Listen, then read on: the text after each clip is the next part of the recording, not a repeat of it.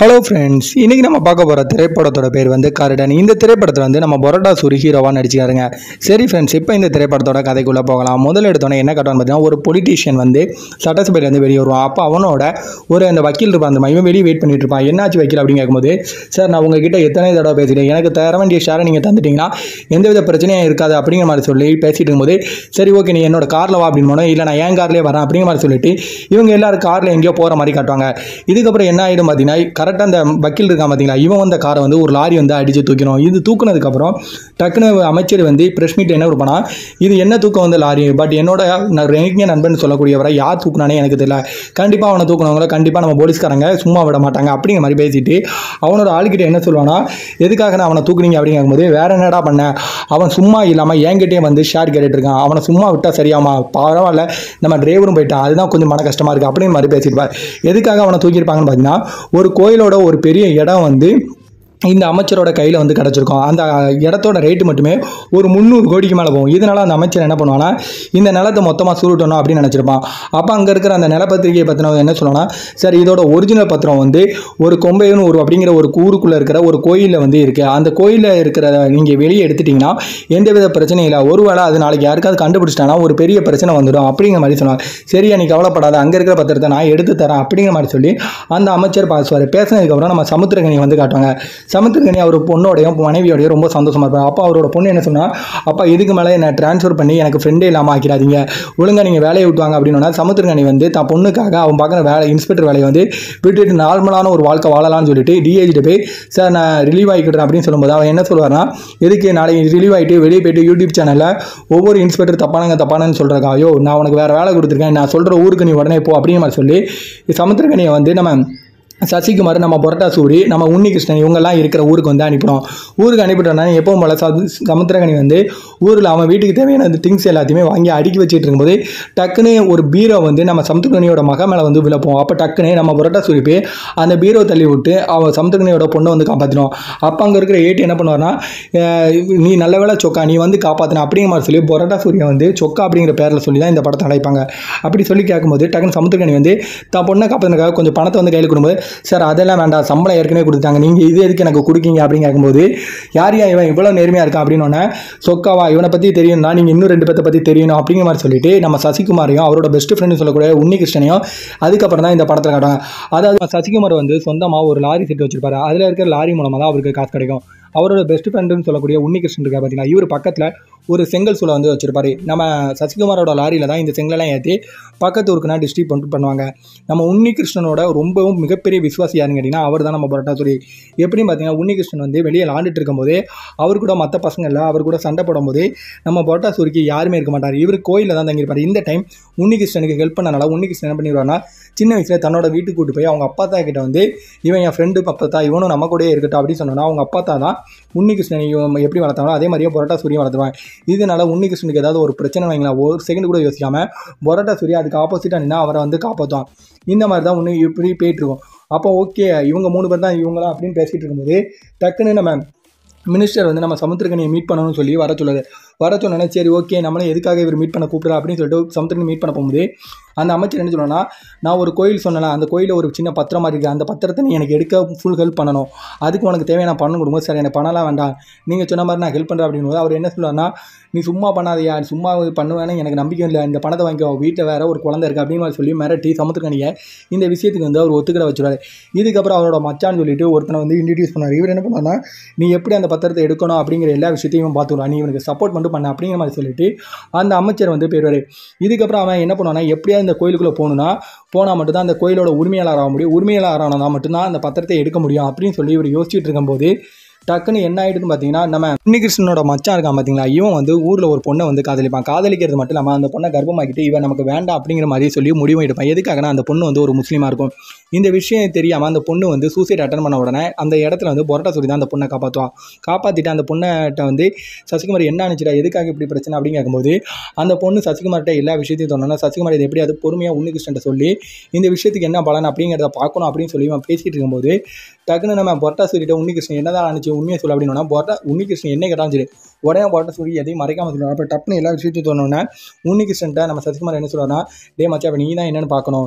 இது ஒரு பொண்ணு விஷயம். நீ தான் என்னென்னு யோசிச்சு உன் மச்சான் என்ன பண்ணணும்னு பேசு. அப்படின்னு மச்சான் மச்சாங்கிட்ட பேசுறதுக்காக நம்ம உன்னிகிருஷ்ணன் அவங்க மாமா வீட்டுக்கிட்ட போய் பேசுவான். பேசும்போது அவர் என்ன சொல்லுவாங்க இன்னொரு மதத்தோர பொண்ணு என் வீட்டுக்கு எப்படி வர்றது அப்படிங்கிற மாதிரி சண்டை போடும்போது டக்குனு அவன் என்ன சொல்லுவான்னா அப்படி நீங்கள் சொன்ன மாதிரி அந்த பொண்ணை கல்யாணம் பண்ணி வைக்கலாம். கண்டிப்பாக உங்கள் பொண்ணு இந்த வீட்டில் வாழ வீட்டை வந்து உட்காரும் அப்படிங்கிற மாதிரி சொல்லிட்டு உன்னிகிருஷ்ணன் போனவனே வேறு வழியிலன்னு சொல்லி தான் பொண்ணு வாழ்க்கைக்காக தான் பையன் ஆசைப்பட்ட அந்த முஸ்லீம் பொண்ணையே வந்து நம்ம உன்னிகிருஷ்ணனோட மாமனார் வந்து கல்யாணம் பண்ணி வச்சிருவாரு. இப்படி இவங்க கல்யாணம் பண்ணி வச்ச அன்னைக்கு என்ன ஆயிடும் பார்த்தீங்கன்னா இவங்க மாமா ஏற்கனவே பிடிக்காத மதத்தில் வந்து பொண்ணு கல்யாணம் பண்ணனால ஃபுல் பாதியில் போய் சசிகுமார் வந்து கெட்ட வார்த்தை போட்டு திட்டிட்டு இருப்பார். அப்போ சசிகுமார் வந்து உன்னிகிருஷ்ணன் இவர் என்ன அமைதியாக இருக்க சொல்கிறா அப்படின்னு சொல்லி சசிகுமார் பேசும்போது உன்னிகிருஷ்ணன் மச்சான் நீ இரு நான் பேசிக்கிறேன் அப்படின்னு சொல்லி உங்களுக்குள்ள பேசிட்டே இருக்கும்போது டப்புனு உன்னிகிருஷ்ணனை வந்து அடிக்கிறதுக்காக அவங்க மாமா வந்து கையை உங்க புரட்டாசூரி உள்ள போய் டக்குன்னு உன்னிகிருஷ்ணன் மாமா வந்து அடிச்சிடும். அடிச்சோட சசிகுமார் தான் அடிச்சிட்டாங்க. எல்லாரும் என்னங்க எப்படி பண்ணிட்டே நான் அடிக்கவே இல்லடி அப்படின்னு சொல்லும்போது டக்குனு அவர் மாமாவோட மூஞ்சி வந்து மஞ்சள் இருக்கும். அந்த மஞ்சள் யார யார்கிட்ட இருக்கும் பார்த்தீங்கன்னா நம்ம புரட்டாசூரி கையில் இருக்கும். அப்போ டக்குனு புரட்டாசூரிக்கு அவன் மாமா காலில் விழுந்து மாமா தெரியாம பண்ணிட்டு மாதிரி சொல்லி இது பண்ணும்போது என்னடா இவன் இப்படி பண்ணிட்டான்? அப்படிங்கிற மாதிரி சொல்லிட்டு இவங்களுக்குள்ள பேசிட்டு இருக்கும்போது இந்த விஷயத்தை எல்லாத்தையுமே நம்ம கான்செப்ட் வந்து சமத்துக்க முடியும். அப்போ இவங்க மூணு பேர் இப்போ ஒன்றா இல்லையா? தனித்தனியாக தாங்க இருக்காங்களா? இதனால தான் நம்ம புரட்டாசூரி வெளியே இருக்காரு அப்படின்னு சொல்லி சமுத்திரன் கேட்கும்போது யாரும் சார் அவங்களாம் அஞ்சு செகண்டில் சேர்ந்துருவாங்க. அங்கே பாருங்க அப்படின்னு மறுபடியும் நம்ம உன்னிகிருஷ்ணனு நம்ம சமுத்திரகனி நம்ம சசிகுமார் இவங்க எல்லாருமே ஒன்றா போவாங்க. ஒன்றாதுக்கு போன அப்புறம் இப்படி இவங்களுக்குள்ள நல்லா தான் லைஃப் போயிட்டுருக்கும் இந்த விஷயத்தை எல்லாத்தையுமே இவன் நம்ம சமுத்திரகனி வந்து அந்த அமைச்சரோட மச்சான்ட்ட வந்து சொன்னான் இதுக்கப்புறம் இவன் எப்படி உள்ளே போகலான்னு யோசிக்கும் போது நம்ம உன்னிகிருஷ்ணனோட பாட்டி இருக்காங்க பார்த்தீங்களா இவங்க தான் கோவில் நிர்வாகியாக இருப்பாங்க. இவங்க டக்குன்னு என்ன என்ன நைட்டு தூங்குற மாதிரி காலையில் எழுந்திரிச்சு பார்த்தா இறந்துருவாங்க. உடனே இப்போ இவங்க இறந்ததுக்கப்புறம் அந்த விஷயம் வெளியே பரவலான அப்புறம் கோவில் நிர்வாகியாக யாரை ஆக்கலாம்? அப்படின்னு சொல்லி இவங்க எல்லாம் பேசிகிட்டு இருக்கும்போது எப்படியும் உன்னிகிருஷ்ணன் தான் ஆவான். ஏன்னா அவங்க பாட்டி தான் இருந்திருக்கு அடுத்து இவன் தான் ஆவான் அப்படின்னு சொல்லி பேசிகிட்டே இருக்கும்போது டக்குன்னு அந்த கோயிலுக்குள்ளே வந்து அந்த மினிஸ்டரோட மச்சான் வந்து என்ன சொன்னால் நானும் நல்லா தான் சம்பாதிக்கேன் நானும் அதே ஜாதிக்கார தான். ஏன் இருக்கக்கூடாதா? நாங்களாம் நிர்வாகியாக இருக்கக்கூடாதா? அப்படிங்கிற மாதிரி சொல்லி பேசுறது மட்டும் இல்லாமல் நீங்கள் எலெக்ஷன் வச்சு பாருங்கள் நானே ஜெயிக்கேன் ஏப்பா இது என்ன எம்பி எலெக்ஷனா ஜஸ்ட் கோவில் நிர்வாகி தானே. இதுக்கு எதுக்கு நீ இப்படி போட்டி போடுற? அப்படின்னா அதெல்லாம் எங்களுக்கு தெரியாதுப்பா நாங்கள் தான் நிற்க போகிறோம் அப்படின்னா சசிகுமார் எவ்வளோ அந்த மினிஸ்டரோட மச்சான திட்டம் பட் அவன் கேட்கவே மாட்டான். இதுக்கப்புறம் டக்குன்னு என்ன ஆயிரும் பார்த்தீங்கன்னா பரோட்டா சூரிய அந்த இடத்துல இறங்கி வந்துட்டு யோ நீ ஒன்றெல்லாம் எதிர்த்து நிற்கிறீங்க எங்கள் அண்ணன் நிற்கிறோம் அவர் கையை காட்டி ஒரு நாயை நிப்பாட்டினா கூட அதுவே ஜெயிச்சு கோவில் நிர்வாகி ஆயிரும். நீ என்ன பேசுகிற அப்படி மாதிரி பேசும்போது டக்குன்னு சவுண்டு கொடுத்தோன்னே டக்குன்னு உன்னிஸ் என்ன பண்ணுவானா கோவில் நிர்வாகியாக யாரை நிப்பாட்டலாம் பார்க்கும்போது நம்ம போட்டாசூரி வந்து நிப்பாட்டுறோம். போட்டாசூரி நிப்பாட்டினதுக்கப்புறம் சசிகுமார் வந்து இப்போ ஆப்போசிட்டாக இருக்கலாம் மினிஸ்டர் மச்சா இவனோட ஒரே ஜாதிக்காரன் தான். இந்த டைம் அவன்கிட்ட நம்ம சசிகுமார்கிட்ட போய் அந்த மினிஸ்டர் மச்சா என்ன பண்ணுவான் ஒரே ஜாதி அப்படின்னு சொல்லி பேசும்போது அவன் என்ன சொன்னான் அந்த இலவெல்லாம் நமக்கு வேண்டாம். என்ன பொறுத்தவரைக்கும் நட்பு தான் முக்கியம் அப்படிங்கிற மாதிரி சொல்லிட்டு சசிகுமார் என்ன பண்ணுவான் இவன் பேசின எல்லாத்தையுமே வீடியோ போட்டு ஊர் மக்களை காட்டி அவனை வந்து தோக்கடிச்சு நம்ம பொரட்டாசூரியை வந்து ஜெயிக்க வச்சிருவான். இதுக்கப்புறம் பொரட்டாசூரி என்னதான் கோவில் நிர்வாகி ஆனாலும் புரட்டாசூரி கையில் வந்து அந்த மொத்த கோயில் பொறுப்பை கொடுக்க முடியாதுன்னு சொல்லிட்டு சசிகுமார் கையில் வந்து கொடுப்பாங்க.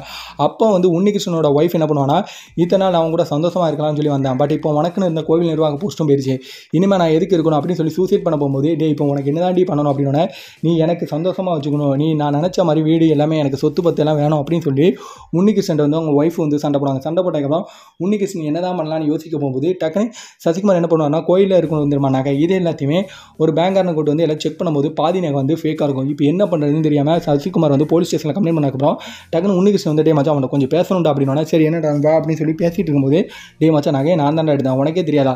செங்கல் சொல்லையில் ரீசெண்டாக மழை பெஞ்சு பெரிய வெள்ளமாக போய் எல்லா செங்கலும் அம்பா போச்சு. இதில் நான் தான் எடுத்தேன் அப்படிம்போது டே இதை முன்னாடியே சொல்லியிருக்க மாட்டியா? நானும் போலீஸ்க்கான யாரையும் வர வச்சுக்க மாட்டேன். இப்போ என்னடா பண்ணுறது அப்படின்னா சரி வேறு என்ன பண்ணுது? இவன் நமக்கு பிறகு இவன் ப்ரூவ் ஆவான் நம்ம இவனை குணத்தில் எடுத்துனோன்னா ஏய் சசிகுமார் நினச்சிடுவானா தப்பு யார் பண்ணாலும் அவன் தான் உள்ளே போகணும். நீ உள்ளே போடா நான் அவனை அரமணத்தில் எடுத்துறேன்னு சொல்லிட்டு அங்கே போய் சசிகுமார் வந்து என்ன பண்ணுவார் நம்ம உன்னிகிருஷ்ணன் வெளியே எடுக்கலாம் முயற்சி பண்ணுவார் பட் அவனால எடுக்க முடியாது. ஏன்னா அவனுக்கு பவர் இருக்காது.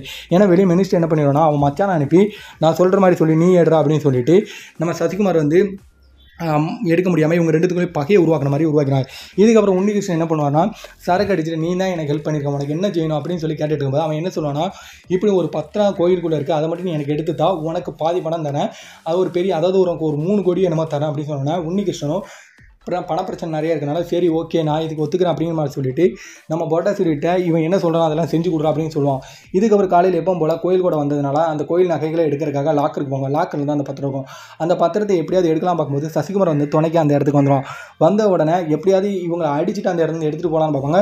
பட் சசிகுமார் வந்து ரொம்ப தெளிவாக வந்து ஊருக்குள்ளே அந்த இதை கொண்டு வந்துவான் இப்போ எல்லாருமே இதை வச்சு அந்த பத்திரத்தை வச்சு சாமி கும்பிட்டு இருக்கும்போது சசிகுமாரை போட்டு எப்படியாவது எடுத்துன்னு சொல்லிட்டு ஒரு குரூப் உள்ளே இறங்கும்போது டக்குன்னு அந்த இடத்துல வச்சு தான் நம்ம பொரட்டாசுக்கு ஒரு பெரிய டிரான்ஸ்ஃபர்மேஷன் காட்டுற மாதிரி பரோட்டா வெறி வந்து என்ன பண்ணிடுவாங்கன்னா நம்ம உன்னிகிருஷ்ணனோட மச்சான் வந்து நம்ம சசிகுமாரை குத்து போகிற டப்புன்னு அந்த இடத்துல வச்சு சசிகுமார்கிட்ட காப்பாற்றுறதுக்காக உன்னிகிருஷ்ணனோட மச்சானையே கையை துண்டாக வெட்டி விட்டுறோம் நம்ம போட்டது இதுக்கப்புறம் இந்த கேஸில் வந்து நம்ம உன் பரோட்டா சூரிய ஆஜராகும் போது தனக்காக தான் ஆஜ காப்பாற்றுறதுக்கு தான் கையை வெட்டினான்னு சொல்லி பரோட்டாசூரியை வந்து நம்ம சசிகுமாரை காப்பாற்று காப்பாற்றிட்டு வரும்போது என்ன கேட்பார்னா எனக்கு எல்லாமே தெரியும்டா எதுக்காக இப்படி பண்ண? நீ என்னதான் உனக்கு பிரச்சனை? அவன் சொல்லி தானே இதை பண்ண? அப்படிங்கிற மாதிரி சொல்லிட்டு நம்ம சசிகுமார் வந்து உன்னிகிருஷ்ணன் உனக்கு உனக்கு என்னதான்டா பிரச்சனை? எதுக்காக இப்படி பண்ணணும்னா? எனக்கு பணம் வேணும்டா அப்படின்னு அவ்வளோ தானடா என்னோட வீடுல இருந்து எல்லாத்தையும் விற்று உனக்கு பணம் தரேன் அப்படின்னு நீ பிச்சை ஒன்றும் போடாத எப்படியா நான் முன்னேறேன் அப்படிங்கிற மாதிரி சொல்லி இவங்க ரெண்டுத்துக்குள்ளேயும் கொஞ்சம் பேசிகிட்டே ரொம்ப ஜாலியாக தான் இருப்பாங்க. இதுக்கப்புறம் இவங்க இந்த மாதிரி நிறைய போயிட்டே இருக்கும்போது டக்குனு உன்னிகிருஷ்ணன் சொல்லுவாங்க டே அந்த பத்திரத்தை எடுத்து கொடுத்தா நமக்கு கண்டிப்பாக ஒரு பெரிய அமௌண்ட் தருவாங்க. நீ சொன்னால் கேள்ற அப்படிங்கிற பட் சசிகுமார் வந்து கேட்கவே மாட்டார். அது கோயில் பணம் கோயிலுக்கு மட்டும் தான் கிடைக்கணும் அப்படிமா. அமைச்சர் என்ன சொல்லுவாங்கன்னா இந்த விஷயத்தை இப்படியே போயிட்டு இருந்தால் கண்டிப்பாக செட் ஆகாது டக்குனு அவனை போட்டு அதை எடுக்கணும் அப்படின்னு சொல்லி நம்ம சசிகுமாரை போடுறதுக்கு ஒரு பெரிய ஸ்கெட்ச் மாதிரி ஒன்று போட்டுட்டு இருப்பாங்க. இந்த டைம் டக்குனு சசிகுமாரோட ஒய்ஃப் என்ன சொன்னா என்னங்க அவங்க மினிஸ்டர் லெவலில் இருக்காங்க. நான் சொல்கிறத மட்டும் கேளுங்க. அந்த பத்திரத்தை கொடுத்து அவங்க தர்ற பணத்தில் ஊருக்கு ஏதாவது நல்லது பண்ணிட்டு போயிடலாம்ல. யாருக்கு இல்லாமல் பிரச்சனை இல்லாமல் உங்களுக்கு எதுவும் ஆயிடுமோன்னு எனக்கு பயமாக இருக்குது அப்படின்னா சசிகுமார் இதை யோசிச்சுட்டு சரி ஓகே உன்னிகிருஷ்ணன் கால் பண்ணி என்ன சொன்னால் நீ கேட்ட மாதிரி நான் பத்திரத்தை தந்துடுறேன். நீ எதையும் பற்றியும் கவலைப்படாத. அவன் கொடுக்குற பணத்தில் ஊருக்கு நல்லது செய்வோம் அப்படின்னு சொல்லி பேசிட்டு போயிருப்பாங்க. இந்த டைம் இவங்க வந்து சசிகுமாரை தனியாக ஒரு இடத்துல வச்சு பார்க்குறக்காக வர சொல்லியிருப்பாங்க. த- சசிகுமார் அந்த இடத்துக்கு போகும்போது பரண்ட சூரிய அந்த இடத்துக்கு போயிடும் போயிட்டு என்ன கேட்பனா டக்குன்னு சசிகுமார் வந்து என்ன சொன்னால் பொட்டசூரியே என் ஒய்ஃப் வந்து உங்களுக்கு பிடிச்ச சாப்பாடு ரெடி பண்ணி கொஞ்சம் போய் அதை வாங்கிட்டு வந்துடு அப்படின்னு சொல்லிட்டு பொட்டசூரியா அந்த இடத்துல இருந்து அனுப்பிடுவாங்க. இந்த டைம் டக்குன்னு என்ன பண்ணுவாங்கன்னா சசிகுமாருக்கு வந்து ஸ்கெட்ச் போட்டிருப்பான் பார்த்தியா உன்னிகிருஷ்ணன். இவன் வந்து அந்த ஸ்கெட்சை வந்து நிறைவேற்றி சசிகுமாரை வந்து வெட்டி அந்த இடத்துல கீழே தூக்கி போட்டுருவாங்க. கோட்டையும் காட்டும் சசிகுமாருக்கு ஃப்ரெண்டு எல்லாருக்கும் சாப்பாடு கொண்டு கொண்டு போன பொட்டத்தூரி திரும்பி வரும்போது சசிகுமாரோட பொண்ணு வந்து காரில் உட்காந்து அழுதுட்டு இருக்கோம். இவன் எதுக்கு இந்த இடத்துல காரில் உட்காந்து அழுகுறான்னு கீழே இறங்கி போய் பார்த்தா சசிகுமார் அந்த இடத்துல வெட்டி போட்டிருப்பாங்க. அதை பார்த்து பொட்டாசூரிக்கு என்ன பண்ணுறதுன்னு தெரியாது. இந்த டைம் சசிகுமாரோட ஒய்ஃபும் அவன் மகனும் வந்து அந்த இடத்துல ஓடி வருவாங்க அப்பாவை பார்க்குறாங்க அப்பா பார்க்க வரும்போது சசிகுமார் பொட்டாசூரி வந்து இதை தடுப்பான். இதுக்கப்புறம் உன்னிகிருஷ்ணனுக்கு இந்த கொலையை பண்ணனால உன்னிகிருஷ்ணன் கொஞ்சம் பணம் கொடுத்து கொஞ்சம் சேஃப்டியாக அந்த மினிஸ்டர் வந்து தேவையான எல்லாத்தையுமே பண்ணிட்டு இருப்பான். இந்த டைம் தான் பரோடா சூரிகிட்ட சசிகுமாரோட ஒய்ஃப் என்ன பண்ணுவாங்கன்னா போலீஸ் ஸ்டேஷன் அதாவது நம்ம சமுத்திரன்கிட்ட வந்து கேஸ் கொடுப்பாங்க. பட் சமுத்திரன் என்ன சொன்னா சாட்சி இல்லாமல் ஒன்றும் பண்ண முடியாது. நீ ஏதாவது சாட்சி கொண்டு வா நான் பார்த்துக்கிறேன் ஏன்னா அவங்க ஃபோன் ஃபோன் ரிங்கில் இருந்து நான் எல்லாமே செக் பண்ணி பார்த்துட்டேன். பட் எதுவுமே இங்கே இல்லை. நீ ஏதாவது ஒரு சாட்சி மட்டும் கூடி. நான் அவன் மேலே கேஸை போடுறேன் அப்படின்னு ஒன்று பரோடா சூரி ஞாபகம் வந்து பரோடா சூரி அங்கே தானே இருந்தான். அவனை கூட்டு வந்து டேய் நீ பார்த்தேன்னு சொல்லுடா அப்படின்னு சொல்லும்போது பரோடா சூரி என்ன நான் பார்க்கவே இல்லை அப்படிங்கிற மாதிரி அமைதியாயிரும் இதுக்கப்புறம் அவங்க அவன் ஒய்ஃப் சசிகுமாரோட ஒய்ஃப் என் ஹஸ்பண்டை கூட இருந்து எல்லாருமே குத்திட்டீங்களா உன்னை கூட பிறந்தானோ பார்த்தேன். ஆனால் நீயே இப்படி பண்ணிட்டுலடா அப்படின்னு சொல்லி அழுதுட்டே போவான் இப்போ இந்த விஷயத்தை எல்லாத்தையுமே பொட்டாசூரி வந்து உன்னிகிருஷ்ணன் சொல்லும்போது உன்னிகிருஷ்ணன் சொல்லுவார்னா டே நான் அவனை கொல்லணும்னு நினைக்கவே இல்லை. அவன் என்னை கொல்ல வந்தான்டா. அதனால தான்டா நான் கொண்டுட்டேன் அவர் ரொம்ப அழுதாள் அப்படிங்கிற மாதிரி சொல்லி நம்ம உன்னிகிருஷ்ணன் நடிப்பார். நடிச்சதுக்கப்புறம் அடுத்த செகண்ட் என்ன ஆயிரும் பார்த்தீங்கன்னா காலையில் உன்னிகிருஷ்ணன் கொட்டுறதுக்காக நம்ம சசிகுரோட மகன் வந்து என்ன பண்ணுவாங்க கத்தியை தூக்கிட்டு டக்குனு அவங்க வீட்டுக்கு வந்து ஓடிடுவோம் ஓடி வரும்போது இதை பார்த்த பொட்டாசூரி உன்னிகிருஷ்ணன் இருந்து எப்படியாவது சசிகுமார் மகனை காப்பாந்து விட்டு அந்த இடத்துல வந்து சசிகுமார் மகனை வந்து தூக்கிட்டு போயிடுவார் தூக்கிட்டு போனால் இந்த விஷயம் வந்து உன்னிகிருஷ்ணன் தெரிஞ்சு தெரிஞ்சோன்னா அவர் என்ன பண்ணுவாங்கன்னா மினிஸ்டர் மச்சாண்ட ஃபோன் அடிச்சு அந்த சின்ன பையனை கொள்ள வந்துட்டானோன்னா இப்போ வேணால் அவன் குறி மிஸ் ஆயிருக்கலாம் இன்னும் ஒரு பத்து வருஷம் கழிச்சு அவன் பெரிய ஆளாக வருவான். அப்போ அவன் குறி மிஸ் ஆகாது அப்படிங்கும்போது உனக்கு கொல்ல மனசு இல்லைனா சொல்லு நானே கொண்டுக்கிறேன் அப்படிங்கிற மாதிரி சொல்லிட்டு சசிகுமாரோட மகனை வந்து கொள்றதுக்காக அந்த மினிஸ்டர் மச்சான் இருக்கான் பார்த்தீங்களா இவன் போவான். இந்த டைம் பொரடா சூர்யா அவன் மகன் சசிகுமாரோட மகன் கூட இருக்கும்போது அவன் எவ்வளவோ மினிஸ்டரோட மச்சானை வந்து தடுத்து பார்ப்பான் பட் அவன் கேட்கவே மாட்டான். அவன் என்ன பண்ணுவானா எப்படி அவனை குத்தி அவனுக்கு சொல்லி கத்தி தூக்கிட்டு போகும்போது டக்குன்னு சசி அந்த சசிகுமாரோட மகனை காப்பாற்றுறதுக்காக பொட்டாசூரி வந்து மினிஸ்டரோட மச்சானை அட்டி அடின்னு அட்டிச்சு அந்த இடத்துல வச்சு கொண்டு போட்டுருவான். கொண்டு போட்டதுக்கப்புறம் இது பெரிய கேஸ் ஆகும் கேஸ் ஆனதுக்கப்புறம் உன்னிகிருஷ்ணனுக்கு யார் இவனை கொண்டா அப்படின்னு தெரியாது. அப்பன் டக்குனு பொட்டா சொல்லிட்டு அவர் கையில் அந்த கண்ணை கொடுத்து டே எனக்கு எவன் மனையும் நம்பிக்கையில் இல்லை உன் தான் நம்பிக்கை பொட்டா சொல்லி கையில் கண்ணை கொடுப்பாரு. கொடுத்ததுக்கப்புறம் இவங்க வந்து மினிஸ்டர் மச்சானோட பாடியை பார்க்குறதுக்காக பண்ணுற இடத்துக்கு போய் நிற்பாங்க அப்போ வந்து டக்குன்னு என்ன ஆயிடுனா அங்கே வந்து போலீஸ்காரங்க வந்து நம்ம பரோட்டா சூரியா அரெஸ்ட் பண்ணிட்டு போயிடுவாங்க அரெஸ்ட் பண்ணிட்டு போனதுக்கப்புறம் சமுத்திரகனி இவன் உன்னிகிருஷ்ணன் விஷயம் தெரிஞ்சு சமுத்திரகனிட்ட போய் உன்னிகிருஷ்ணன் என்ன பண்ணா இவனை எதுக்கு சார் அரெஸ்ட் பண்ணீங்க? இவனுக்கு எதுக்கும் இந்த சம்மந்தம் இல்லை அப்படின்னா என்னையா நீ சொல்கிற அவன் வாயவே திறக்க மாட்டேங்க நீயே அவன்கிட்ட கேள் அப்படிங்கும்போது அப்போ சமுத்திரக உன்னிகிருஷ்ணன் வந்து அப்போ தான் சொல்கிறேன் சமுத்திரகனி எல்லாரும் முடியும் ஆமாண்ணே நான் தான் அவனை கொன்னேன். என் கண்ணு முன்னாடியே அவனை கொல்ல போனால் விடுவானே அதான் அவனை கொண்டுட்டேன் இவ்வளோ பிரச்சனைக்கு அவன் தான் காரணம் அப்படின்னு உன்னிகிருஷ்ணனுக்கு என்ன பண்ணுறதுனே தெரியாது. இதுக்கப்புறம் டக்குன்னு என்ன ஆயிரும் பார்த்தீங்கன்னா உன்னிகிருஷ்ணனோட ஒய்ஃப் வந்து கால் பண்ணி என் மச்சான் அவன் என் தம்பியை காணுங்க.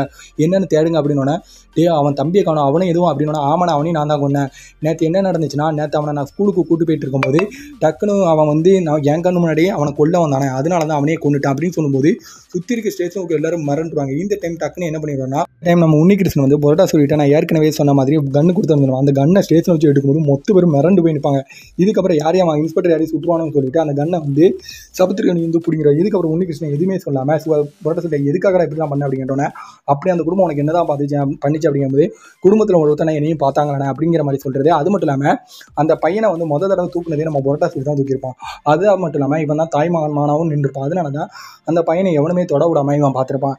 இதுக்கப்புறம் உன்னிகிருஷ்ணனுக்கு என்ன பண்ணுறேன்னு தெரியாமல் அவன் அந்த இடத்துல வந்து எதுவும் பேசாமல் போயிடும் போனதுக்கப்புறம் அவன் மச்சான் பாடிக்கு வந்து நெருப்பு வச்சதுக்கப்புறம் அவன் ஒய்ஃப் என்ன சொல்லணும் நீ முத காசு பணத்தை சம்பாதிக்க நினச்சேன் இப்போ நீ எனக்கு உயிரோட இருந்தாலே போதும் அப்படிங்கிற மாதிரி சொல்லுவான் இதுக்கப்புறம் சமத்துக்கு நிதி பொரோட்டா சூரியன் இது வரைக்கும் நீ எனக்கு எவ்வளோ பண்ணியிருக்கேன் நான் உனக்கு ஏதாவது பணம் நினைக்கிறேன். என்ன பண்ணணும் அப்படின்னு கேட்டோன்னே சரி எனக்கு ஒரு ஹெல்ப் மட்டும் பண்ணுங்க அப்படிங்கிற மாதிரி சொல்லிட்டு நம்ம சசிகுமாரோட ஒய்ஃப் இருக்காங்க பார்த்தீங்களா? அவங்களையும் அவன் பையனையும் கூப்பிட்டு நம்ம சமுத்திரக்கணி வந்து ஒரு விஷயத்தை சொல்லுவான். என்னன்னா பலிக்கு பலின்னு போனால் எதுவுமே கிடைக்காதுமா உன் பையனுக்கு பதிமூணு வயசு ஆகுது. இப்போவே கைத்தே தூக்கியிருக்கான் விட்டு அவன் வை லைஃப் வந்து ரொம்ப போயிடும். நான் ஏற்கனவே புதுக்கோட்டையில் ஒரு இன்ஸ்பெக்டர் லேடிட்ட பேசியிருக்கேன். உனக்கு தேவையான வேலை உனக்கு தேவையான எல்லாத்தையுமே அவங்க அங்கே பண்ணி தருவாங்க. நீ அங்கே போய் சந்தோஷமாக இரு அப்படிம்பாங்க. இது கூட நானும் உனக்கு செய்யணும்னு ஆசைப்பட்டு செய்யலை. உனக்காக சொக்கம் தான் இதெல்லாம் கேட்டேன் அப்படிங்கிற மாதிரி சொல்லி பொரட்டா சூரிய சொல்லுவாங்க. அப்போ பொரட்டா சூரியை பார்த்துட்டு சதிகுமார் ஒய்ஃப் என்ன சொன்னா கண்டிப்பாக உனக்கு எதுவும் ஆகாது. நீ ரிலீஸ் ஆன பிறகு எங்க கூட வந்துரு அப்படின்னு சொல்லும்போது கண்டிப்பாக வந்துடுமா அப்போ வந்து அவன் என்ன பண்ணுவான்னு பார்த்தீங்கன்னா நம்ம சின்ன பையன் இருக்க அந்த சசிகுமாரோட பையன். அவங்ககிட்ட வந்து நல்லா படிக்கணும். அம்மாவுக்கு எப்போவுமே நீ சப்போர்ட்டாக இருக்கணும்டா அப்படிங்கிற மாதிரி சொல்லி அந்த இடத்துல போயிடுவான். இதுக்கப்புறம் மேலே இருந்து மினிஸ்டர் என்ன பண்ணுவான்னு பார்த்தீங்கன்னா பொட்டாசூரி வந்து போட்டு தள்ளுறதுக்கு ஒரு ஏற்பாடு பண்ணி அவனை என்கவுண்டரில் போட சொல்லியிருப்பான். இந்த டைம் உடனே ஒரு எஸ்ஐ என்ன பண்ணுவான்னா நம்ம என்கவுண்டரில் போடுறதுக்காக நம்ம பொரோட்டா சூரியா வந்து தனியாக கூட்டு போகிறோம் கூட்டு போயிட்டே இருக்கும்போது டக்குன்னு அந்த இடத்துல ஒரு ஆக்சிடென்ட் ஆகி டக்குன்னு பொரோட்டா சூரியா அந்த இடத்துல வந்து மிஸ் ஆயிடுவார். இவர் எங்கே போவார்னு பார்த்தீங்கன்னா நம்ம உன்னிகிருஷ்ணன் வந்து பார்க்குறக்காக போவார். ஆமாங்க உன்னிகிருஷ்ணன் என்ன பண்ணிட்டு இருப்பான்னு பார்த்தீங்கன்னா பொரோட்டா சூரிக்கு ஒரு லவ்வர் இருப்பா. லவ்வர் என்ன சொல்லுவாங்க நீ என்னெல்லாம் பண்ணன்னு தெரியும்? அப்படின்னு சொல்லி உன்னிகிருஷ்ணன் வந்து மிரட்டும் போது அவளை அடித்து அவளை எரிக்கிறதுக்காக அவனோட செங்கல் சூளைக்கே தூக்கிட்டு போயிருப்பான். அந்த இடத்துக்கு தூக்கிட்டு போனதுக்கு அப்புறம் தான் நம்ம உன்னிகிருஷ்ணனை பார்த்து நம்ம பொரோட்டா சூரி என்ன பண்ணா? ஏன்னா நீ அப்பத்தாவை கொண்ட அப்படிங்கிற மாதிரி கேட்பான் அதாவது நம்ம உன்னிகிருஷ்ணனுக்கு அப்பா தான் ஒருத்தங்க இருந்தாங்க தெரியுமா? தூங்கும் போதே இருந்தாங்க அவங்க தூங்கும் போதே இறந்துருக்க மாட்டாங்க.